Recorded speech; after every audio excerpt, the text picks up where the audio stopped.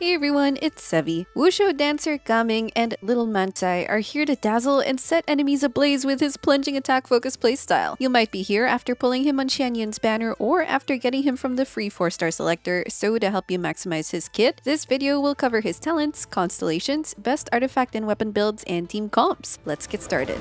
I'll start my warm-up routine.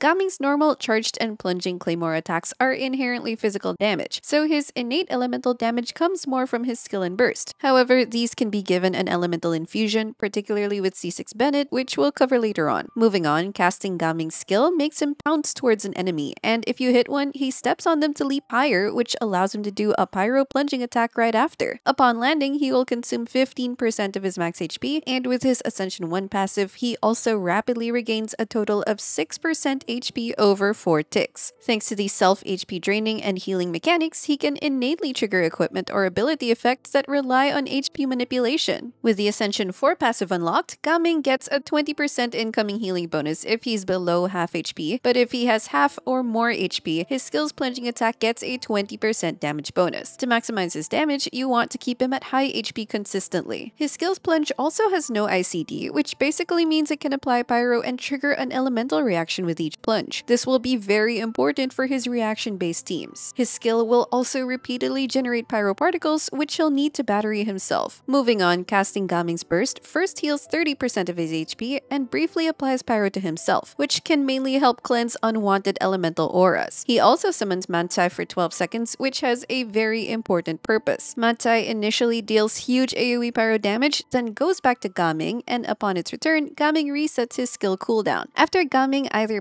pounces or successfully does his skill's plunging attack again with more than 50% HP, Man Chai gets resummoned to reset his skill cooldown again. By repeating this mechanic, he can plunge repeatedly until his burst state ends. That's why it's also important to keep him at high enough HP. All in all, it's a simple gameplay loop which mainly focuses on having his burst active while spamming his skill. In between his skill cooldowns, he can use his claymore attacks while waiting for the skill reset and to drive his teammates' abilities like Xingqiu or Yelan's bursts. Even with constellations, his gameplay will be essentially similar. For his utility passive, he gives your party a 10% movement increase during the daytime, though note that it doesn't work in certain areas. All of his talents contribute to his damage, but his skill has the highest priority as he'll be spamming that during his on-field time. Then his ascension materials include the Emperor of Fire and Iron boss drop, the Star Conch Liyue specialty, and slime drops. His talent materials use the Prosperity book series from the Liyue talent domain, slime drops, and the Lightless Mass from the Fontaine weekly boss. At C0, Gaming already has cohesive gameplay and is surprisingly strong for a 4-star, but let's see what his constellation's at. C1 makes Man Chai heal 15% of Gaming's HP whenever they meet back up, which gives him even more self-sustained potential, turning his HP manipulation into a net positive gain. This especially helps him stay above 50% HP for Man Chai to be consistently resummoned during his burst state and to receive the damage bonus from his A4 passive. C2 gives Gaming a 20% attack buff for 5 seconds if he gets overhealed, regardless of the source. It's a small but welcome damage boost as long as you can ensure he can be consistently overhealed. C3 increases his skill level by 3, which is his main damage source. C4 restores 2 energy to Gaming whenever his skill plunge hits an opponent, which is a significant help to his ER needs and allows you to run more offensive stats on him. C5 increases his burst level by 3, and C6 gives Gaming's skill plunge a 20% crit rate and 40% crit damage bonus, plus a wider AoE, which is a very significant damage boost that also helps a lot with balancing his crit stats. Now that we're familiar with Gaming's kit, let's move on to his build starting with artifacts. For his sands, it's either EM or attack. EM is generally better in his vaporize slash melt teams, but it can still depend on the external EM or attack buffs he's getting, such as having Sucrose on the team or using an EM weapon. Of course, if on a monopyro team with no reactions, then it should strictly be attack. His goblet will generally want pyro damage,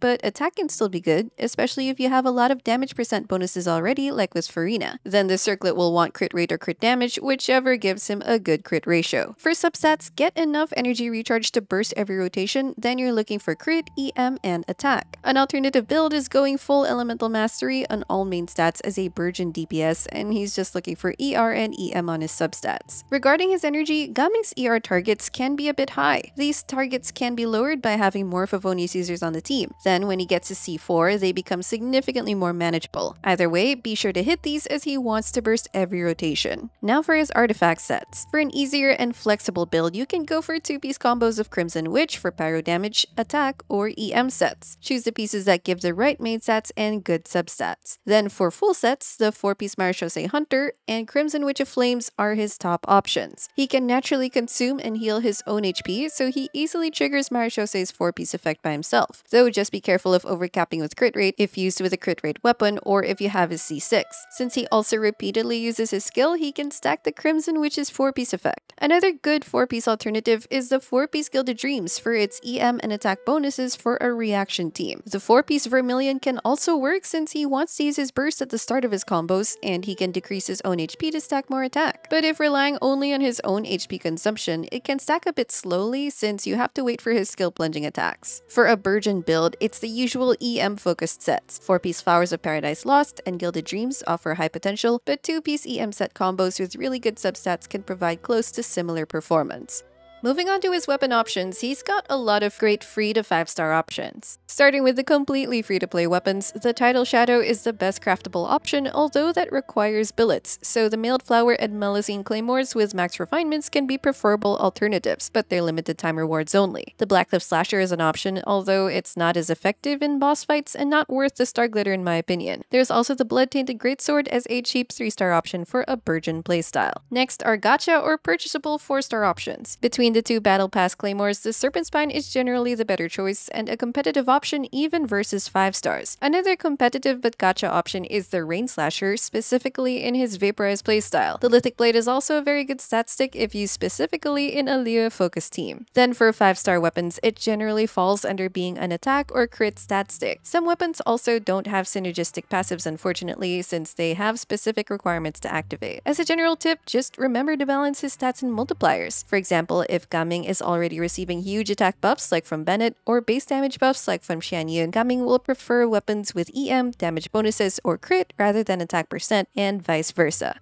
Finally, let's go over his possible team templates and synergies. A Vaporized Reaction playstyle will be a staple template since it's easy to execute and outputs very good damage. You're mainly consistently setting up a Hydro Aura on the enemy, so Gaming's plunges can always, or almost always, trigger a Vaporized Reaction. The usual off-field Hydro applicators are Xingqiu, Yelan, and Furina. It can just be one, which is still sufficient application for consistent vaporizes, or a double combination of them for better combined Hydro app and damage. Then the other flex slot will generally be composed of buffers like Bennett or VV equipped Anemo units, the usual supports you see in vaporized teams. But again, be mindful about having sufficient healing as well, and for any of his teams, since he wants to stay at high health for Man Chai to be continuously resummoned. His healing becomes a net positive at C1 though, so that's one case where he can self-sustain, but of course there can still be other factors involved, like Furina draining his HP and taking a lot of damage from enemies. You'll likely end up comping him with supports that consolidate buffing and healing anyway, like like Bennett or our new Anemo support Xianyun. She's a healer and plunge attack focus buffer, so she'll naturally have very good synergy with Gaming. While she's not required for Gaming, she's still a big boost for him and now allows him to also plunge outside of his skill. However, even if Gaming plunges with his Claymore attacks, it's still going to be physical damage. But if you have a C6 Bennett who, aside from boosting pyro damage, will then infuse Gaming's Claymore attacks with pyro, he can now alternate his skill and Claymore plunges, potentially triggering Vaporize on most, if not all all of them for a lot more damage. A variation of a vaporized template is the Overvape or Overload Vaporized team, which introduces an electro unit like Fischl or Yae to deal damage and apply electro off-field. Triggering electro charge on an enemy allows the Hydro and Electro auras to temporarily coexist, and if Gaming applies Pyro on them, he will proc both Vaporize and Overload. If you're interested in a melt playstyle for him, this needs reliable, consistent cryo application since the cryo aura is consumed faster by applying a Pyro aura. But the trade-off is that melting with pyro has a higher reaction multiplier than vaporizing. Having an anemo infuse their ability with cryo can also help for added cryo application. You'll want to be conscious of timing Gaming splunges to ensure that they're triggering melt every time. Otherwise, if the pyro aura overtakes the enemy, then your cryo units might be the ones triggering melt instead. On the other hand, mono pyro teams require no reaction management for much easier gameplay. Bennett's a typical teammate for his huge attack buff, and even better if he has C6 to buff pyro damage and infuse Gaming's attack attacks, and having three sources of pyro particles will help bring down your pyro unit's ER needs. An Anemo unit is also highly recommended to VV shred the enemy's pyro resistance, or other synergistic supports can work like Zhongli for his shield that can also reduce elemental resistance as well. A niche variation of this is having a double Anemo, double Geo, or an Anemo Geo combo for the two flex slots. If you have Chevreuse, you can also play Gaming in one of her Pyro Electro only teams, where she'll boost his raw pyro damage via her resistance shred and attack buff. When using Gaming for a Burgeon team, you'll need to have good combined Hydro and Dendro application to consistently generate Dendro cores. His own HP consumption might also make him feel more vulnerable combined with Burgeon's self damage, so having a capable healer is valuable as well. Enemies have a limit of how many times they can take Burgeon damage at once, though. You might end up generating too many cores at once, and some of those Burgeon explosions might just end up getting wasted. If you find yourself generating too many Dendro cores, you can instead add an Electro unit who can also be a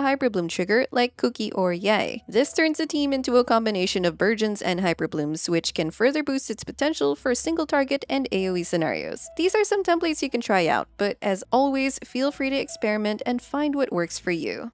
And that's going to be it for this gaming guide. Let me know what you think of him, especially if you've tried gaming with gaming and who you plan on comping him with. If this video helped you out, don't forget to leave a like, consider subscribing to my channel if you haven't already, and I will see you all soon. Take care!